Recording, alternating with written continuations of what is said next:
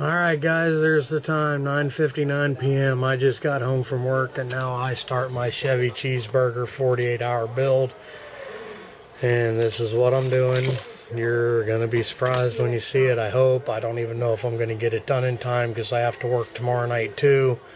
But there it is. As you can see, it's not started. Half of the parts aren't even washed.